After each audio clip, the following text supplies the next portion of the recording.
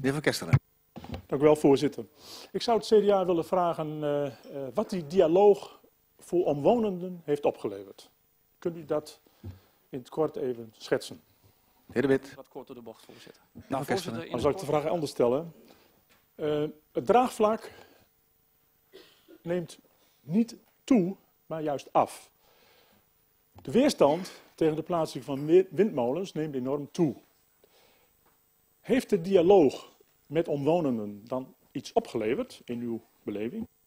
De heer De Wit. Agenda. Even Kesteren ja, tenslotte. Nogmaals, ja, laatste vraag aan uh, spreker van CDA. Uh, ehm, de dialoog, bestaat dat uit het goed uitleggen aan mensen? Of heeft het nou, misschien dat u één iets kan noemen wat het nou concreet heeft opgeleverd, dialoog? Want dat weet ik nog niet. Heer De Wit. Dank u wel, voorzitter. Uh, voorzitter, het vervolgproces nieuw beleid is alles behalve nieuw beleid. Wind op land en zonneparken zijn niet op grote schaal in onze provincie te realiseren.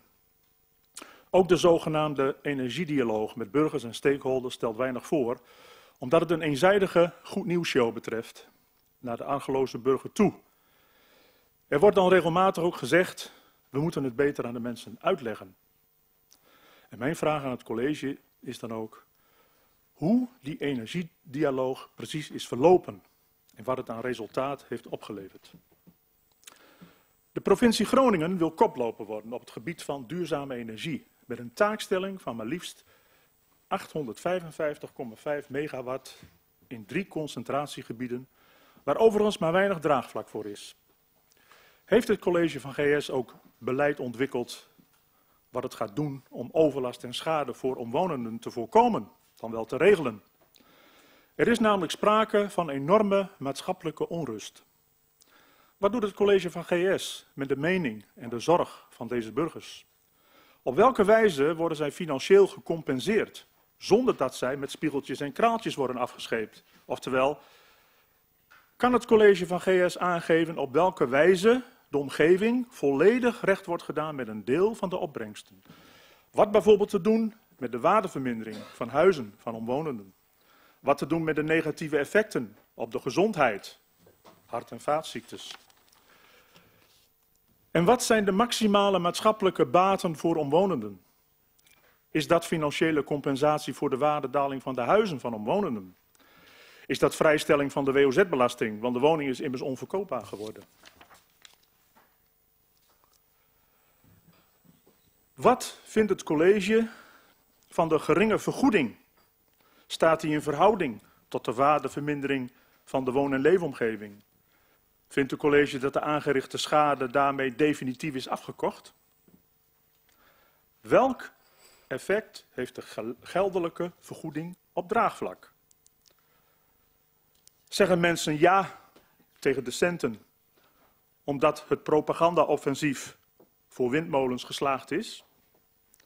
Wat vinden mensen die buiten die financiële regeling vallen? Een fooi in de praktijk. Verdeelt het een gemeenschap niet Graag een reactie van het college. Acceptatie van duurzame energie door de burger en een goede locatiekeuze blijken niet samen te gaan. Ik wil het college van GS dan ook vragen: wanneer is een locatie een goede keuze? In 2017 is er door experts een energiedialoog gevoerd met honderden inwoners. Ik vraag me af, over wat voor experts hebben we het dan? Kan het college daar wat meer over zeggen? En wat waren de voorwaarden om ruimte te kunnen geven aan de ontwikkeling en het opwekken van duurzame energie op land? Ik rond af, voorzitter. Ik vraag het college van GS hoe het staat met de belangen van burgers die overlast gaan ondervinden. Welke mogelijkheden hebben burgers om op de noodrem te trappen? Nederland wil 49% CO2-reductie in 2030, zelfs oplopend tot 55%. Ho, hoe wordt dat in hemelsnaam gemeten, voorzitter? Is dat überhaupt te meten? Tot zover. De PVV ziet uit naar de antwoorden van het college. Ik hoop dat alle vragen ook echt beantwoord worden. Dank u wel. Dank u wel, voorzitter. Helderheid en duidelijkheid voor de inwoners. Spreek maar aan. Eh nou zijn er straks verkiezingen. Ik heb begrepen dat de VVD heel graag in een college zitting zou willen nemen. We moeten ook realistisch zijn. Ja, dat is voor de bühne, mensen. Maar in elk geval, we moeten realistisch zijn. Straks kunnen we verwachten dat GroenLinks toch een van de grootste partijen zal worden. Hoe moet ik me dat voorstellen, voorzitter? De VVD in een college met GroenLinks. U wilt duidelijkheid naar de inwoners. Eh, zal dat tot resultaat hebben voor de inwoners, want u houdt van duidelijkheid naar de inwoners toe, dat het beleid met betrekking tot windmolens toch wel een draai zal maken? Of zegt u nee, de combinatie GroenLinks en VVD is niet bespreekbaar, want we willen immers duidelijkheid. En GroenLinks wil de hele provincie vol met windmolens. vraag is helder, dank u wel. Dank u. Ja, ja, de verkiezingsdebatten beginnen vroeg. Namens de PVV.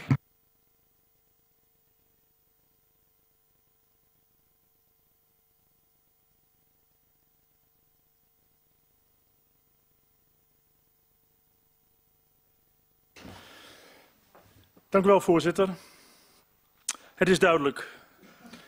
De provincie Groningen zal niet kunnen voldoen aan de taakstelling 855 megawatt. Laat staan de extra windmolens. Vandaag heeft de Raad van State de vaststelling bestemmingsplan Windpark Delfzijl-Zuid uitbreiding vernietigd. Omdat er niet kan worden voldaan aan de normen voor geluid en slagschaduw. De rechtmatigheid en doelmatigheid, voorzitter, van de plaatsing van windmolens in onze provincie zal bepalend zijn. En dat is terecht. Het Chaka-beleid vertoont inmiddels trekjes van een secte. Waar blijft toch het gezond verstand, de Groningse nuchterheid? Een secte weliswaar met enthousiaste voorgangers. Het enthousiasme waardeer ik. Is ook uh, ja, mooi om te zien dat iemand toch voor zijn ideologie uh, ja, gaat. Maar het is wel een pleidooi voor een subsidie-industrie. Vragen aan de bewoners wat ze willen. Delen in de lusten. Ja, investeren en dan een luttel bedrag jaarlijks vangen. Voor de moeite. Waar banken en financiële instellingen hun handen en hun vingers niet meer aan willen branden, voorzitter. Wat zijn de rendementen? Als je voor deze participatie bedenkt dat rendement ook moet uitgedrukt worden in wat heeft het voor effect op de waarde van de woningen van omwonenden. Wat is, de, wat is het rendement? Noem je rendement ook de vervolgschade die mensen hebben door die waardevermindering? Door de risico's voor de gezondheid, hart- en vaatziektes, wordt nooit over gesproken. Dat zijn de zorgen die de bewoners hebben. En uh, als je burgers informeert, informeer ze dan volledig.